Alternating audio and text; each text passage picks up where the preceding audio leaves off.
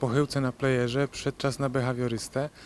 E, Mamy tych samych producentów i akurat prawa do tej książki były wolne, co mnie bardzo ucieszyło, bo właśnie e, pojawiła się taka okazja, że może przy odrobinie szczęścia uda się właśnie ten serial nakręcić w Opolu, co zresztą było jednym z takich moich największych pisarskich marzeń tak naprawdę. Ogromna satysfakcja chyba w sercu, którą w tej chwili czuję. Nie z tego gwiazdorstwa, ale z tego, że po pierwsze e, książka Remigiusza Mroza, która, e, który jest z Opola i często pisze e, swoje powieści, umieszczając tutaj akcję, nareszcie będzie ekranizowana, ekranizowana w Opolu, bo to jest dla nas zawsze wielkie wyróżnienie. Jesteśmy skromnym, średnim miastem, chociaż stolicą polskiej piosenki, a jednak tutaj i wybitny autor, i wielkie wielkie e, opowieści, opowiadania się w tym mieście dzieją.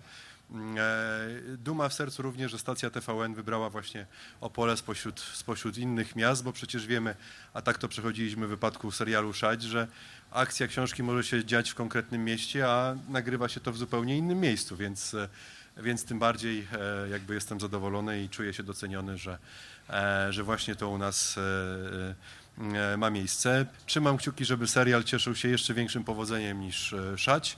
E, Trzymam kciuki za to, żeby pan Remigiusz przyjeżdżał do Opola nie tylko przy okazji tego, jak kręcą jego książkę, e, ale również tego, żeby tych powodów do przyjazdów związanych z książką było jeszcze więcej, bo, e, bo mam nadzieję, że to nie ostatnie takie, takie przedsięwzięcie. Od samego początku, jak byliśmy tutaj, pamiętam, taką wczesną wiosną, to byliśmy już zachwyceni tym miastem. Nawet jak nie było zielono, trochę padało, zimno, to, to, to od razu zobaczyliśmy te miejsca. Na pewno Opolanie rozpoznają swoje miasto, może nawet bardziej niż w Szadzi. Nie sztuka kręcić filmów w Warszawie, w Krakowie, w Gdańsku czy, czy we Wrocławiu. Sztuką jest kręcić film w mniejszych ośrodkach miejskich, które też zasługują na to, żeby przyjechać do takiego ośrodka i żeby y, pokazać y, mm, szerszej publiczności walory takiego miejsca, w tym przypadku Opola.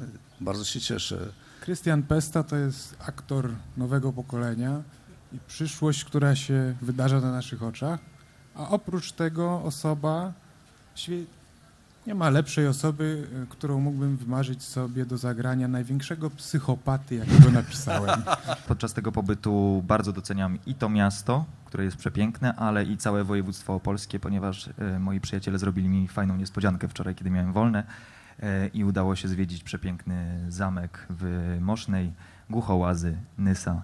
Także Opole i województwo opolskie to naprawdę piękne miejsce i bardzo się cieszę, że możemy tutaj być. U mnie zawsze jest tak, że to bohaterowie wybierają, którymi ulicami chodzą i to trochę się dzieje niezależnie ode mnie. E, Cieszę się, jeżeli zagłębiają się w takie miejsca, w których rzadko bywałem, e, bo mogę sobie tutaj w sposób dosyć wygodny research przeprowadzić. E, Ale też cieszy mnie, jak chodzą po moich starych śmieciach. No i cieszę się, że w ogóle udało się sprokurować taką sytuację, że wczoraj kręciliśmy serial w miejscu, gdzie właściwie spędziłem całe dzieciństwo, czyli na placu Daszyńskiego.